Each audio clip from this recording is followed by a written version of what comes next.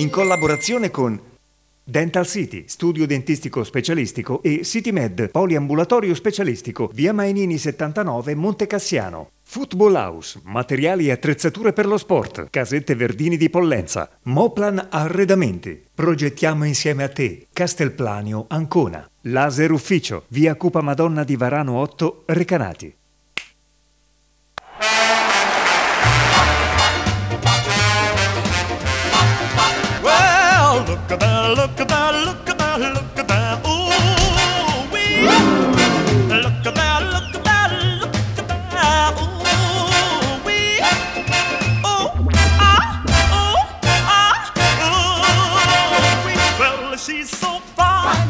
Siamo pronti? Partiamo.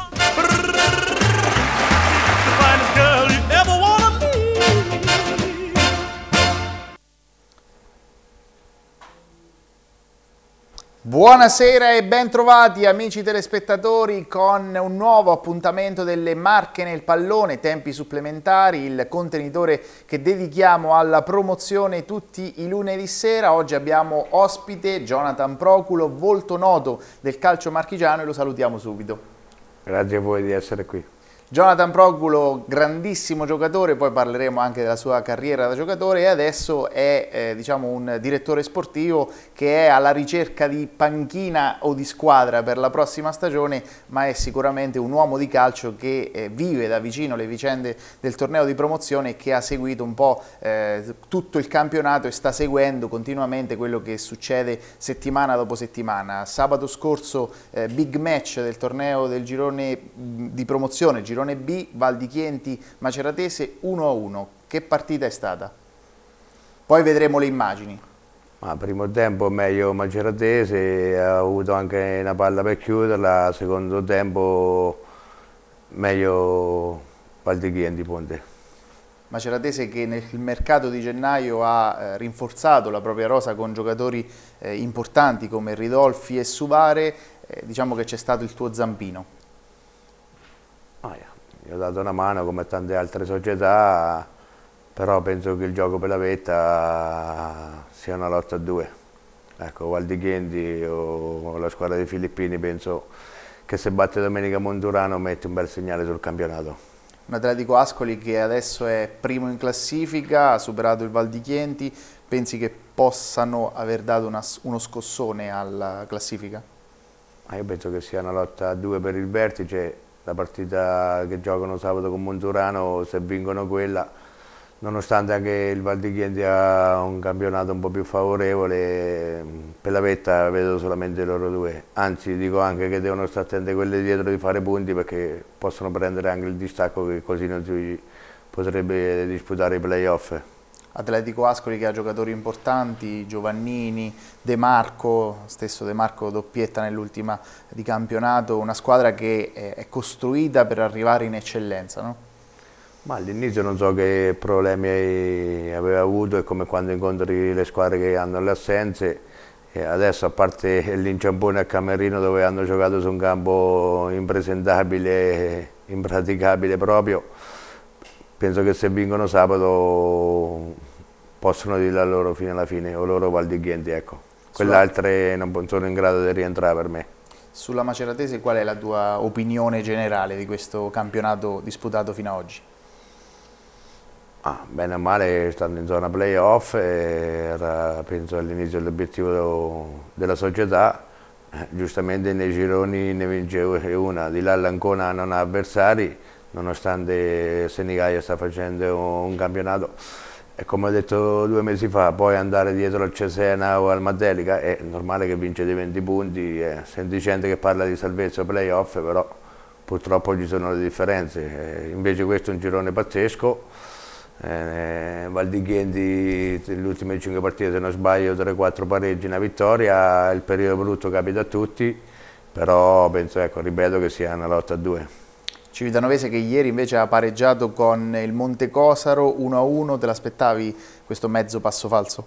Secondo me io l'ho visto due volte la Civitanovese, se fanno i playoff è un miracolo, dispiace a dirlo eh, perché è una grande piazza, però mm, non vedo dei grandi giocatori come c'è la Maceratese, Valdichienti, lo stesso Mondurano, ecco, o Atletico Ascoli, sono, è un gradino sotto, eh, molto molto dura secondo me, ecco sabato vanno a Treia, è una partita molto ostica, se raggiungono i playoff è da già un buon segnale molto difficile da raggiungere. Invece il Monte Cosaro che ha bloccato la Civitanovese è una delle sorprese in positivo no? di, questo, di, questo, campionato, una squadra molto rocciosa, quadrata che a questo punto se la lotta anche per eventualmente poter rientrare nella lotta per i playoff.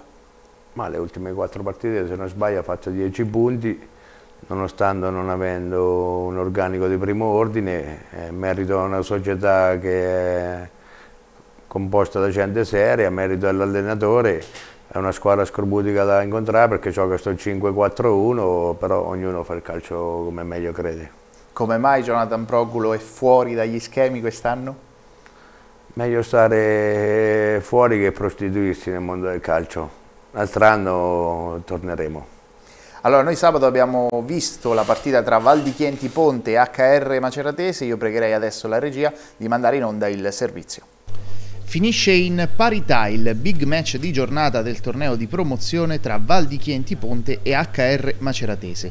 A Villa San Filippo Marcaccio risponde al guizzo di Moriconi e fissa il punteggio sull'1-1 finale. Un pareggio sostanzialmente giusto con la Maceratese bene nel primo tempo e i padroni di casa meglio nella ripresa. Risultato che fa scendere al secondo posto il team di Giandomenico a meno uno dalla capolista Atletico Ascoli e vede ridurre praticamente al lumicino le speranze dei biancorossi di poter ambire al primato finale in graduatoria. Andiamo alla cronaca del match. Dopo appena 30 secondi Maceratese vicinissima al vantaggio. Mongello scatta sulla sinistra e si trova a tu per tu con il portiere locale, ma sbaglia la conclusione e manda al lato. La reazione dei locali è nella punizione dal limite di Castellano, sfera alta al minuto numero 9. Maceratese che passa in vantaggio al sedicesimo, gran giocata di Mongello sulla sinistra, palla al centro per l'accorrente Moriconi che non perdona e porta in vantaggio i suoi. Padroni di casa vicini al pareggio al ventesimo con Monteneri, ma il suo colpo di testa viene respinto alla grande da tomba in calcio d'angolo al trentesimo ghiotta chance per la Maceratese di poter raddoppiare e Ridolfi da ottima posizione a sciupare l'occasione del possibile 0 a 2. Gol mangiato, gol subito. La legge del calcio non lascia scampo ai biancorossi e così al 39esimo Iommi è bravo a sgusciare sulla sinistra, cross al centro per la spizzata di Castellano e l'intervento vincente di Marcaccio. 1-1 e parità ristabilita. Nella ripresa la partita viene condotta dai padroni di casa che al secondo sfiorano subito la rete, conclusione di Badiali da dentro l'area e ancora Tomba bravissimo a respingere. Al ventitreesimo ancora Ridolfi ha sui suoi piedi l'opportunità di realizzare, ma non riesce a gonfiare la rete. Maceratese vicina alla marcatura anche al ventiseiesimo, Bigoni da dentro l'aria sciupa una buona opportunità. L'ultima emozione del match è sui piedi di Castellano al 37 L'attaccante si trova praticamente a tu per tu con Tomba da posizione leggermente defilata, ma ancora una volta il numero 1 bianco-rosso si oppone alla grande e sventa la minaccia. Termina qui la sfida con un pareggio sostanzialmente giusto ma che lascia l'amaro in bocca a tutti. Nel dopo gara le parole dei due tecnici Gigi Giandomenico del Val di Chienti Ponte e Francesco Moriconi della Maceratese. Sapevamo benissimo che affrontavamo una squadra forte, ma credo che abbiamo fatto la partita per 90 minuti, siamo stati un po' ingenui il primo tempo e concedere qualche contropiede di troppo e la troppa voglia di, di andarci a prendere il risultato. Soprattutto dopo aver, aver preso gol eh, ci siamo fatti un po' prendere troppo da, da andarla a recuperare subito però devo dire bravi ragazzi perché stiamo attraversando un momento difficile, un momento con tanti infortuni, stiamo giocando da 3-4 partite senza attaccanti e io di più a questi ragazzi non posso chiedere un pareggio sostanzialmente giusto per quello che si è visto in campo con una Maceratese che nel primo tempo ha avuto anche l'occasione di chiuderla, no? andare sul 2-0, però voi avete tenuto, il calcio è bello anche per questo, per il gol del pareggio immediato e poi nella ripresa avete alzato il baricentro e sfiorato il gol. Bravissimo Tomba. Sì, detto bene, abbiamo avuto un paio di occasioni anche noi, il primo tempo se non sbaglio, e poi credo che le più clamorose le abbiamo avute noi il secondo. Effettivamente se, se Ridolfi faceva il 2-0 la partita si complicava un bel po', però siamo stati bravi a tenerla in piedi e, e poi a provare perlomeno a, a giocare. E dobbiamo migliorare tanto perché ancora commettiamo diversi errori. Però come ho detto prima, ripeto, ai ragazzi non posso chiedere di più. Com'è la situazione degli infortunati?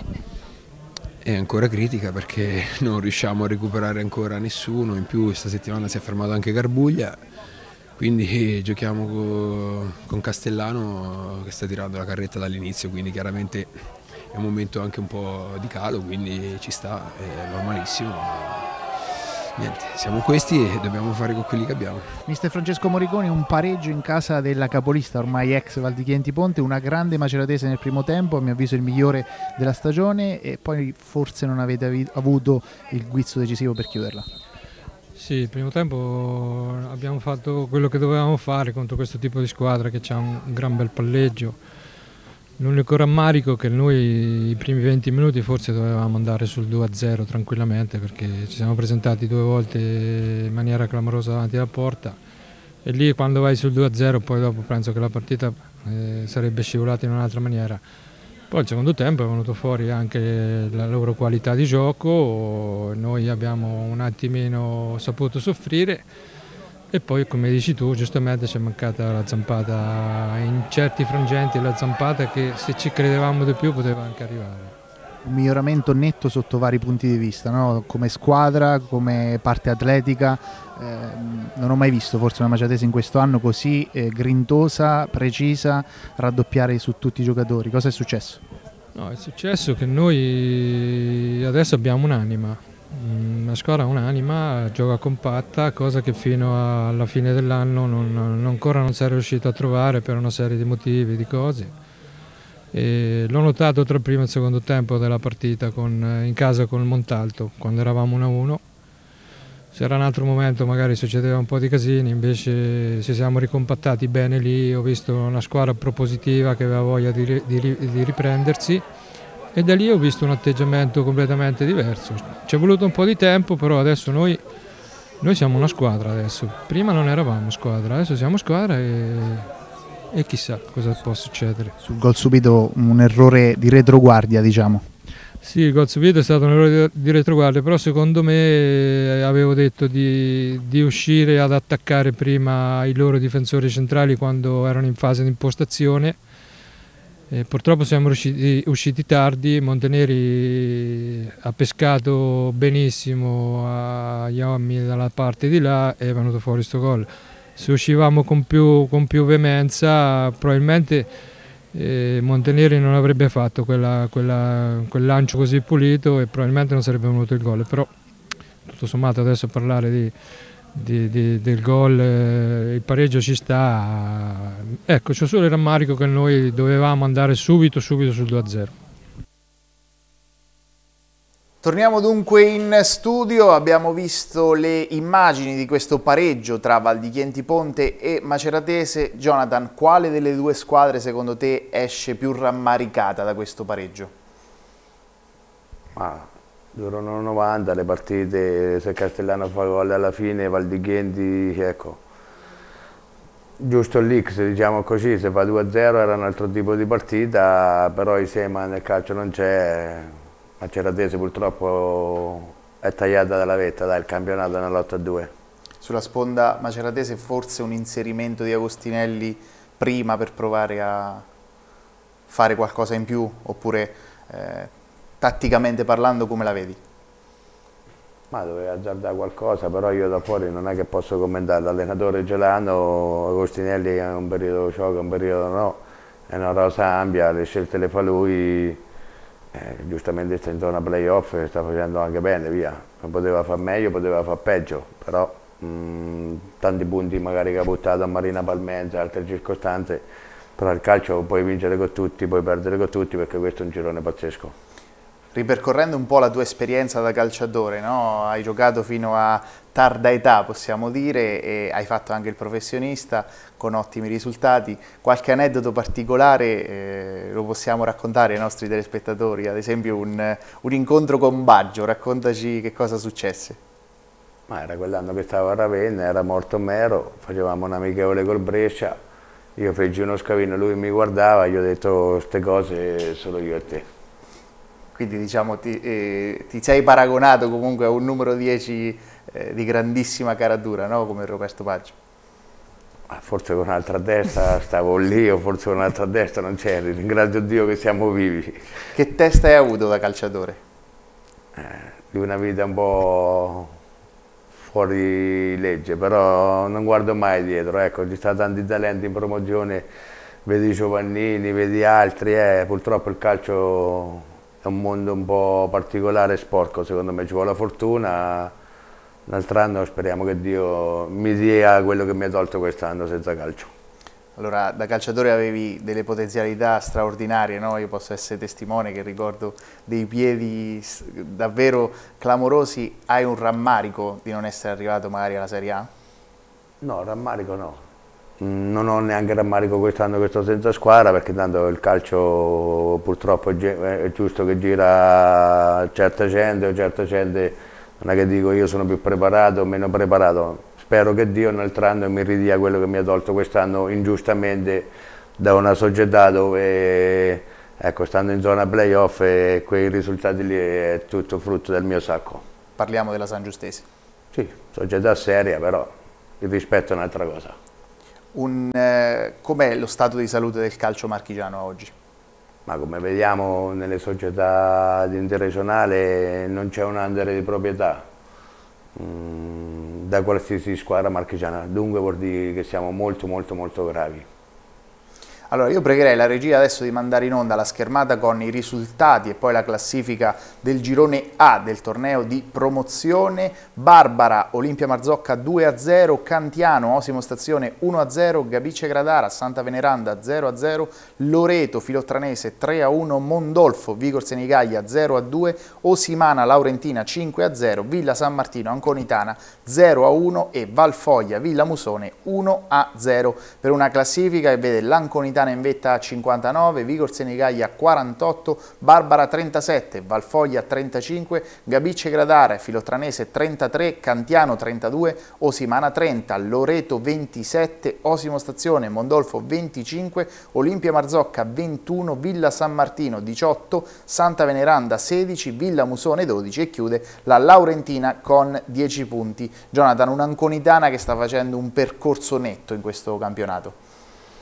Ma nulla è dovuto nel calcio, è stato bravo il presidente con i suoi collaboratori ad allestire una rosa ampia, eh, purtroppo le altre partecipano, via. dispiace per Senigallia perché è una grande squadra e purtroppo lotti solamente per la seconda posizione.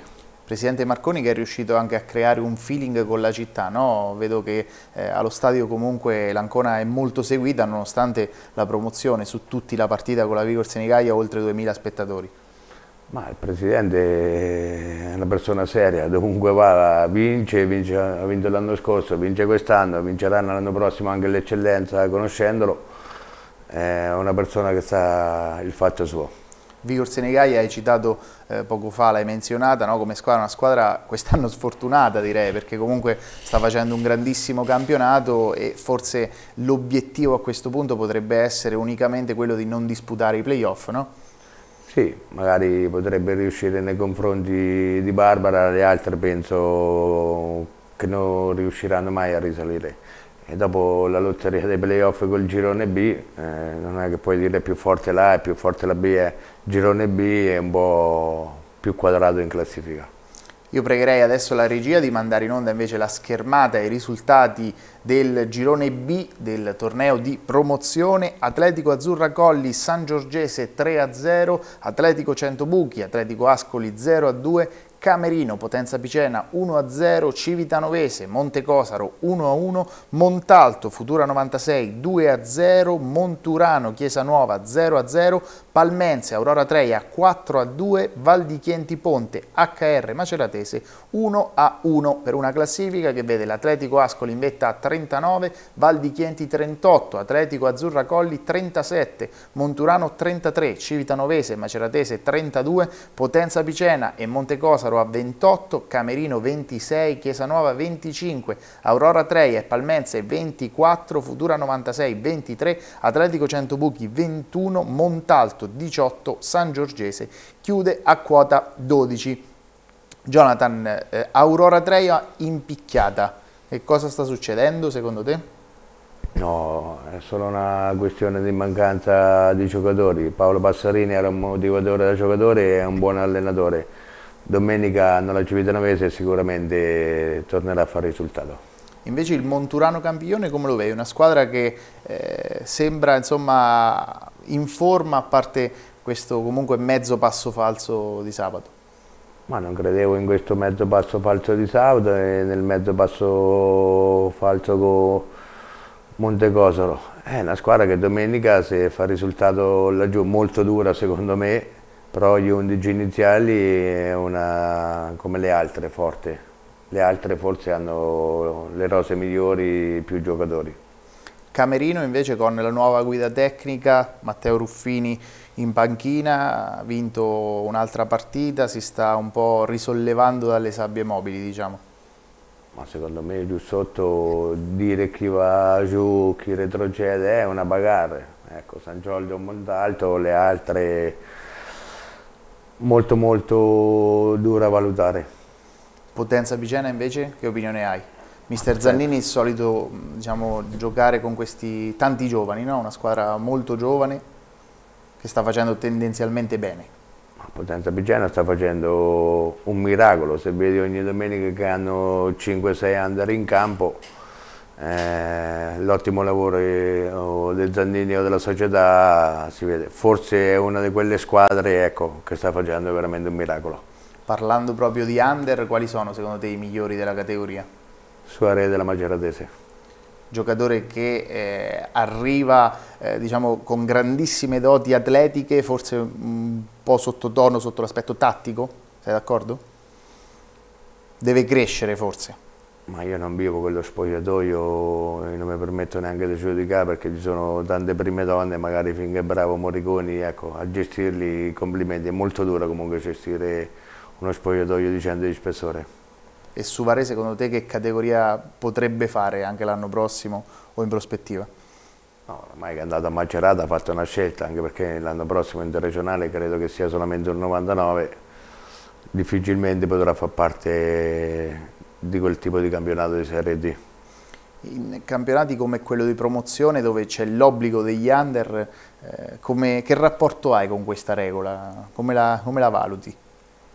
Secondo me è stato fatto per fare un risparmio nei confronti delle società, allora mettiamone quattro e cercheremo di fare campionati magari solamente con under del vivaio e a quel punto le società vanno veramente in difficoltà, senza pescare altrove. Società che eh, vanno in difficoltà anche per una gestione di settori giovanili non sempre particolarmente adeguata, no? possiamo dire.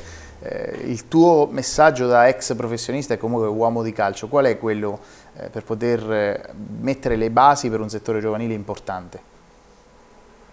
Ma io posso dare un consiglio non faccio il mago, però che vedi, magari vado a vedere degli allenamenti dei bambini di 7-8 anni che fanno gli ostacoli o li fanno correre, secondo me siamo allo sbando totale. Magari un bambino di 7-8 anni gli dai un pallone, lo fai palleggiare, magari quando ce n'ha 9-10 riesce a palleggiare. Allora, noi siamo nelle battute finali di questa puntata con eh, Jonathan Proculo, lo salutiamo, lo ringraziamo. Grazie a voi. E noi non resta che augurarvi una cordiale buona serata e arrivederci a lunedì prossimo.